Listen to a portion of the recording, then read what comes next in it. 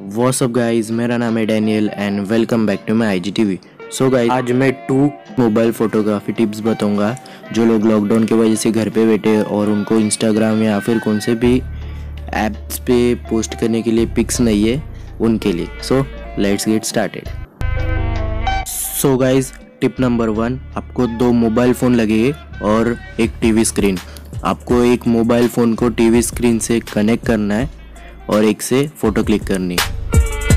मैंने अपने mobile screen को टीवी स्क्रीन से कनेक्ट कर लिया है सो आपको इसमें वाइट कलर का बैकग्राउंड लगाना है। ये बैकग्राउंड आपको गूगल पे सर्च करना है, मिल जाएगा। गाइस मैंने स्क्रीन पे वाइट बैकग्राउंड लगा लिया है।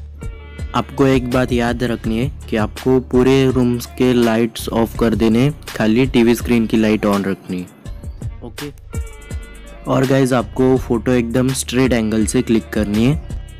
फ़ोटो क्लिक करने के लिए आप भाई या बहन या ट्राईपोड यूज़ कर सकते हो।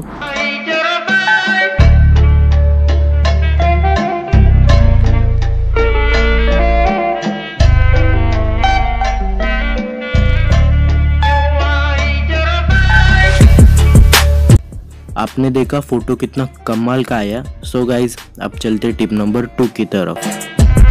टिप नंबर टू ये पिक निकालने के लिए आपको एक न्यूज़पेपर लगेगा और उसको ऐसे बीच में से फाड़ना है। गाइस एकदम स्ट्रेट एंगल से फ़ोटो क्लिक करेंगे।